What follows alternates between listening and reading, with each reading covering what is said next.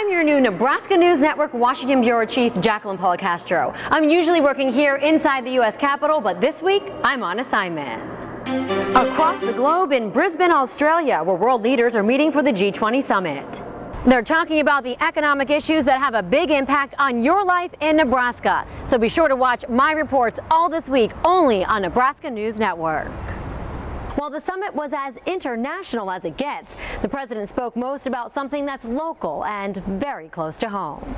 We're here at the University of Queensland where students and Australian VIPs have been waiting for the chance to see President Obama speak. Getting here was definitely a challenge and we're going to give you an inside look.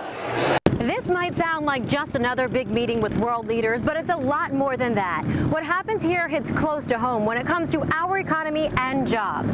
Every American has a stake in the success of the G20 summit. We all know U.S. products are shipped around the globe, but it's summits like the G20 that determine whether or not our local businesses, manufacturers, and farms have the opportunity to expand their reach and trade on a level playing field. Local manufacturers tell us they're looking to world leaders meeting here at the G20 summit to pave the way for growth.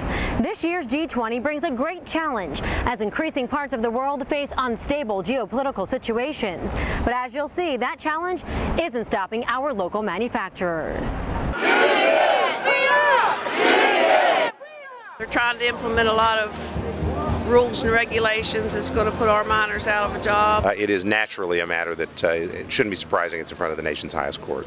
I think the American public just wants to see government do what they're supposed to be doing, especially Congress, is show leadership. So how can you protect yourself? Kama says the most important thing is if you feel you're being scammed, immediately hang up the phone. The Skelton brothers haven't been seen since they went missing four years ago.